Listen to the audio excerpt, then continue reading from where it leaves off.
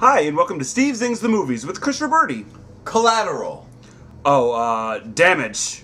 A life less ordinary. Uh, would be better than this movie. Red Dawn. Uh, Red Dong? Dawn. Oh, Dawn.